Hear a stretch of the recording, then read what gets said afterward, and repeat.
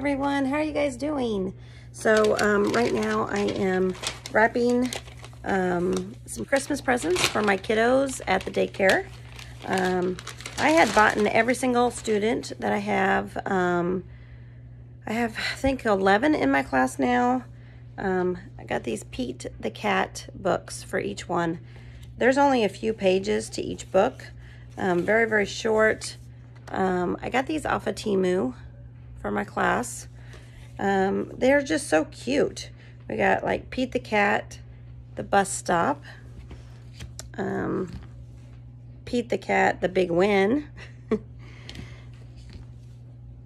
Pete the Cat, get to bed, um, Pete the Cat, the bad banana. um, you know, I have two-year-olds in my class now, and um, so these are I Can Read books. I'm helping out with their phonics. I have a keychain that I'm going to start working on for the new year um, with the alphabet. And I'm going to start teaching the two-year-olds the alphabet, um, the sounds that they make, and then we're going to move on to reading some of these books. And so I thought I would slide these underneath the Christmas tree um, in the classroom that I have for the kiddos and just thought I would let you know I've been wrapping those and um, going to be getting my kid off on the bus here in a minute. So I will return here in a little bit to finish out this video. Hey everyone, how you guys doing? So I just got done wrapping those Pete the Cat books. Um, my son is on the bus and I thought I would just take a moment to say good morning, happy Monday. I uh, have a lot to do today. I have a lot of phone calls coming in to me today and appointments. Um, trying to figure out how I'm going to make it um, living on my own now without any child support. Um, not going to get hardly anything. Um, zero for my nine-year-old now and um, very low amount for my 15 year old. And um, I was broke with the child support. So um, as I'm moving forward, I am going to try to figure out how to do this on my own. You guys, I don't need these um, men supporting um, me and, and the children if they don't want to. Um, I think that child support um, based on like the Form 14s that you fill out with the court is based on something that the court is saying that the child needs. Um, that money does not go to me. It goes to helping paying bills and helping to, um, you know, give uh, shelter and food and uh, the things that the child needs for them. Um, I have always used my child support for those type of things. And um, it has been a great blessing to receive child support. And um, all that was taken away last week. And I was low income. And now I'm going to be poverty level. And so...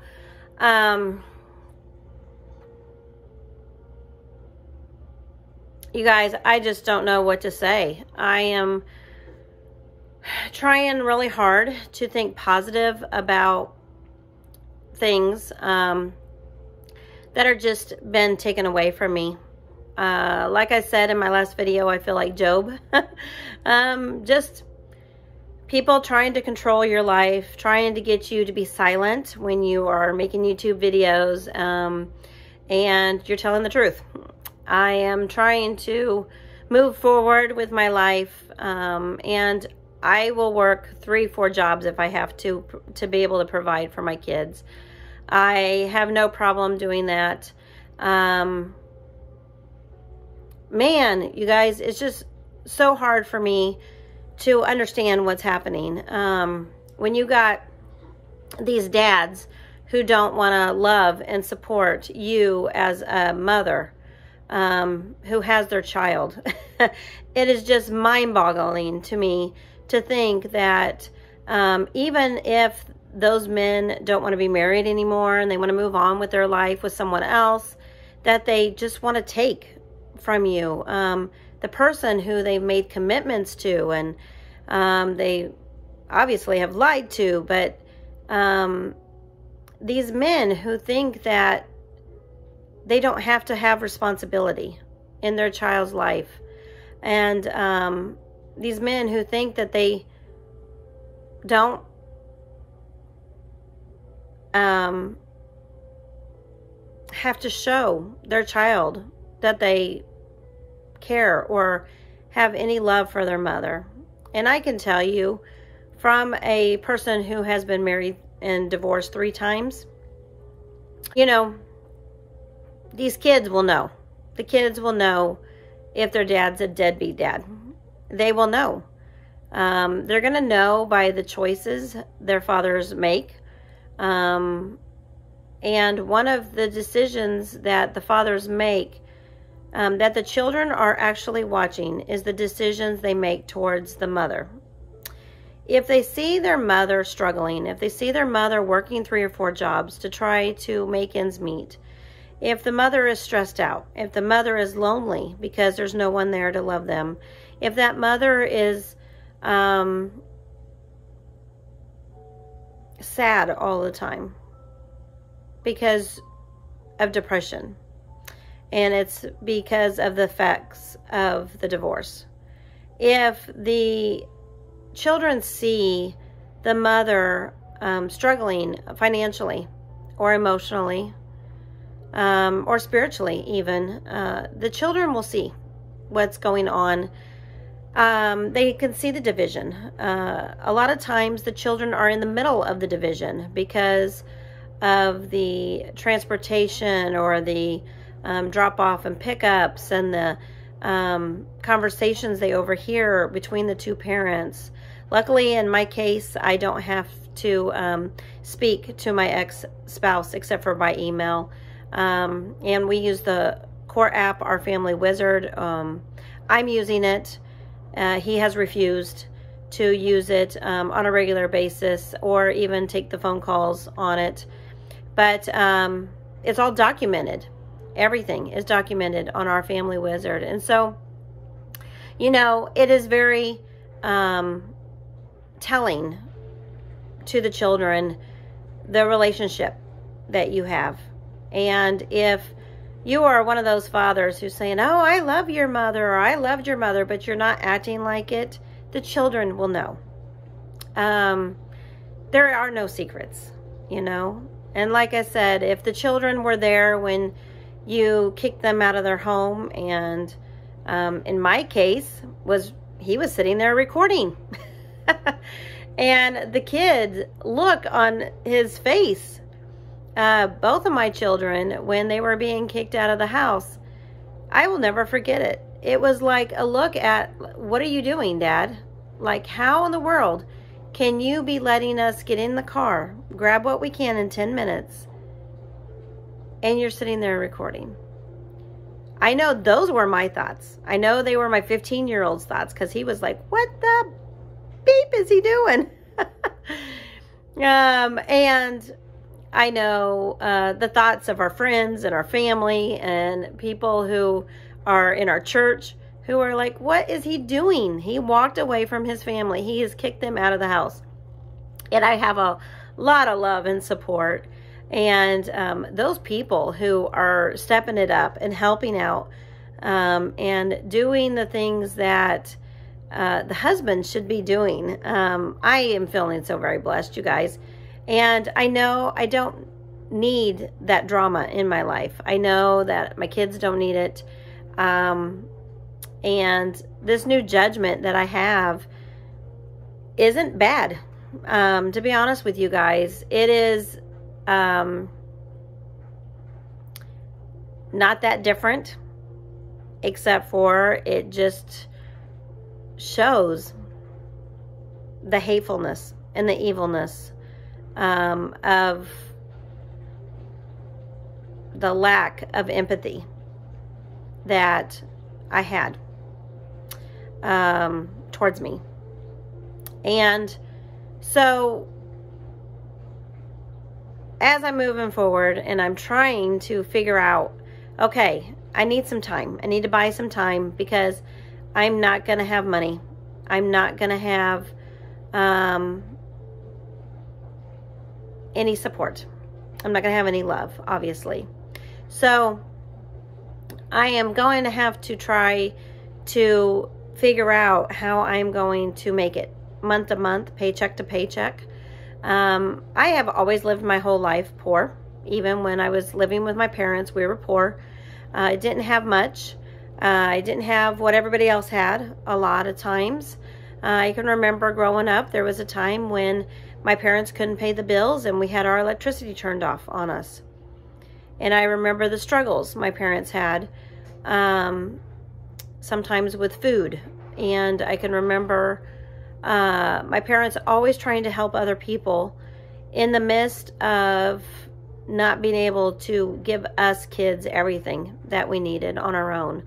So I remember the struggles. I remember as a child the um, stress my parents were under. I remember them in their arguments. I can remember them saying, We can't afford that, and telling me no. I can remember um, the struggle.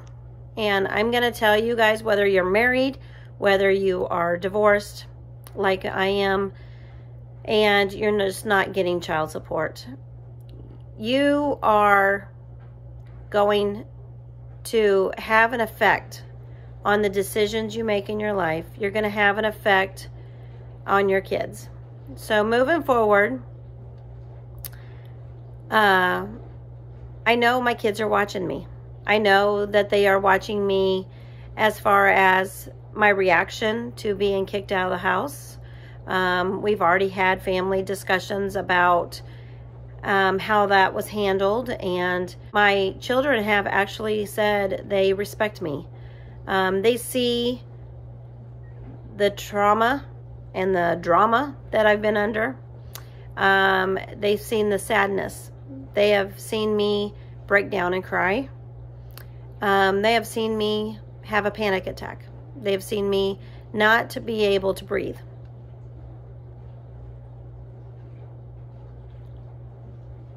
The effects of your decision on your children. Every decision you make, when you're married, when you're not married, to see your children understand that life is more than just being selfish. You are to love your spouse no matter what. You are to respect the decisions of your spouse no matter what. You are to follow the government and their decisions no matter what, no matter how hard it is. Um, you can seek help, but you're probably not going to get it um, things have gotten really tight. The government's broke. They don't even have attorneys to help anymore. So these judges can come in and make rulings just ripping everything from a single mom who's poor and low income to put them back into the poverty level, to put them back into the system. Um, it's all about control. Uh, if your spouse decides that they don't want to be a part of supporting and loving you, whether you're married or not married. Um, the government itself, the system, is going to want you to be in a system where they can control you. Um, and they can then they can control your children ultimately. Um, when there's no co-parenting and there is no working together um, as husband and wife or as um, divorced parents, father and mother, of that child, um, the effects that it's going to have on your children is um, life changing. Those children um, will grow up, need counseling. Those children will grow up and need um, guidance. Um, biblical guidance growing up. And I have been very blessed in that area, having love and support and um, having that biblical guidance um, where other people are helping, supporting, um, and encouraging Christian education for me and my children. And if I can't get my spouse on board with a Christian education, then the blood is on his hands, you know? Um, and if your spouse or ex spouse does not want to listen to you um, in your opinions, the blood is on their hands. You know, if they don't care about your feelings when it comes to parenting, the blood is on their hands. Um, ultimately, you guys, we are all going to be judged for our decisions. If you are a man and you are saying you're a Christian and you are um, filing for a divorce, um, you're leaving your family. You've abandoned your family spiritually. You're going to be judged for your family. You're going to be judged for every individual in your family. And I am speaking to you men who watch my channel. I have several men who watch my channel. So, um, if you're a Christian man and you're watching my channel, stand up for your family. Do what's right. Fight for your family. Um, biblically, get into God's Word. Read what it says. Um, you have certain responsibilities. Just as I do as a woman as a Christian. Um, I'm going to be striving in 2024 to be a spiritual leader of my family as a single mom. I'm going to try to be a Proverbs 31 wife, even though I'm not married. Um, I'm going to start taking care of my home and my children to the best of my abilities.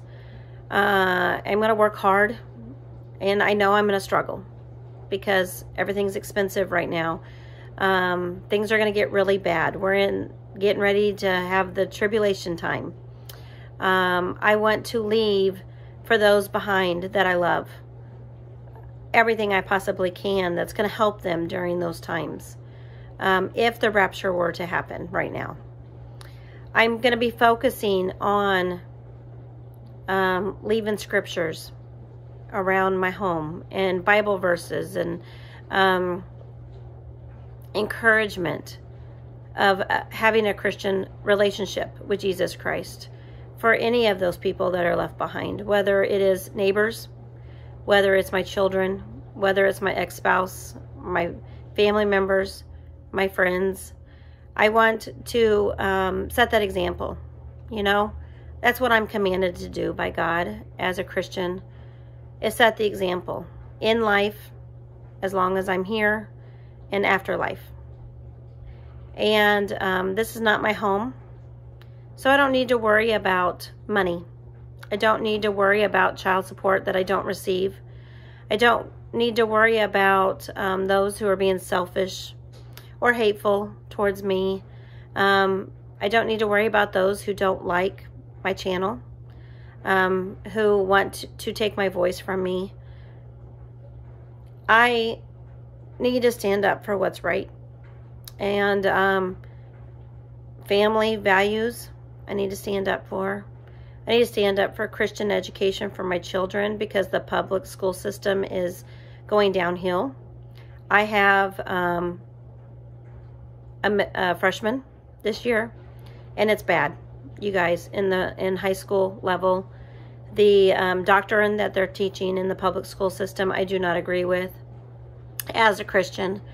Um, I believe that the government has stepped in and infringed me on my um, constitutional um, amendments and rights, and um, I'm fighting for that separately.